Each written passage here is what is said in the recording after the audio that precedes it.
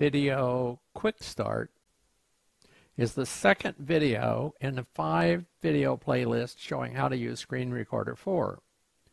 To watch the videos in order, click the playlist link in the video description.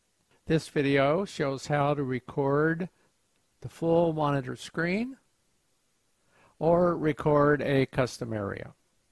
We'll recommend settings and give tips for using Screen Recorder. Pin Screen Recorder to the taskbar. That'll make it much easier to execute it and it'll make it easier to restore it when you need to access its controls. You really want to avoid minimizing screen recorder while you're recording because the controls for it are on its main menu. If you minimize it, you'll have to restore it or you'll have to use the hotkeys that are available. And the hotkeys are not all that reliable and they may interfere with other programs that are running. While recording with multiple monitors, you can drag the screen recorder's main window off the screen onto the other monitor so it doesn't interfere with your recording and you still have the controls available. If you are recording large areas of your desktop, you probably want to hide the desktop icons. Uh, if you're going to do that and then you're going to record something, you want to open the folder or app that you're going to be recording before you hide the icons. For instance, here's project folder. I'll open it, move it into the recording area, then I'll hide desktop icons.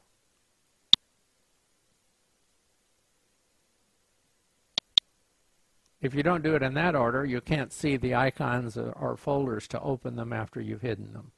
Click here to record full screen. Now it's recording and it's showing me how long it's has been recording.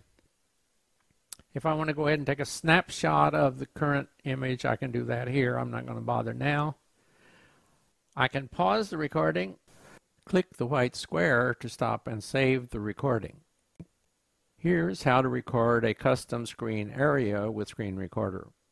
For Screen Recorder to record custom area, you click here, and then you draw your recording area with the cursor.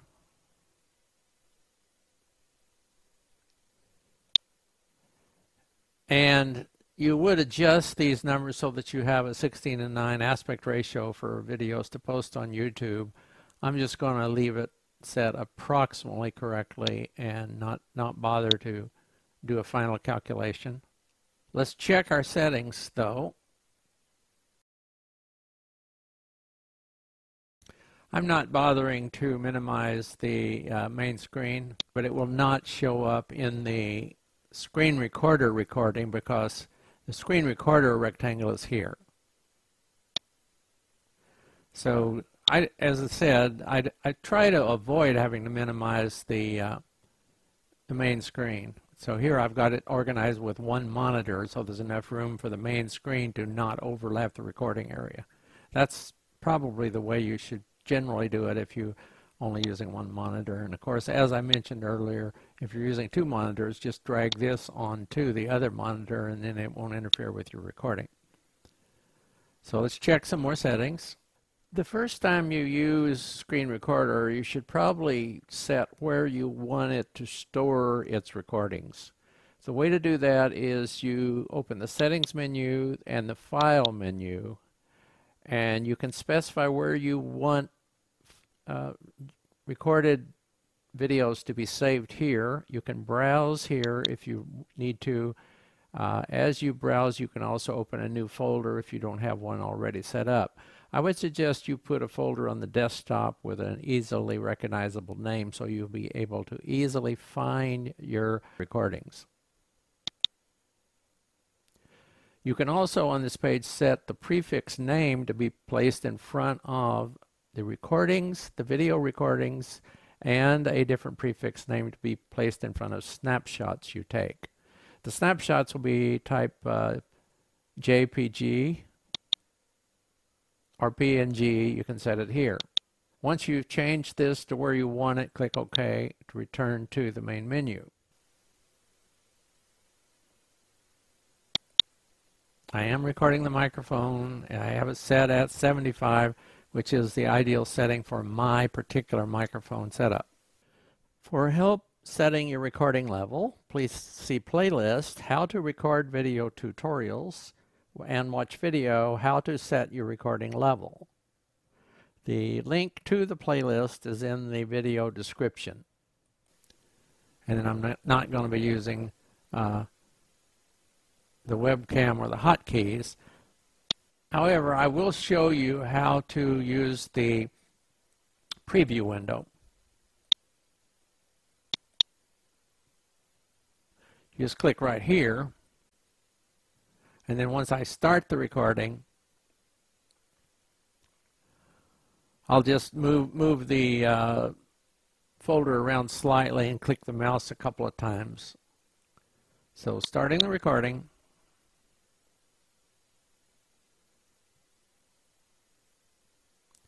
Move the mouse around a little bit. Move the screen around a little bit.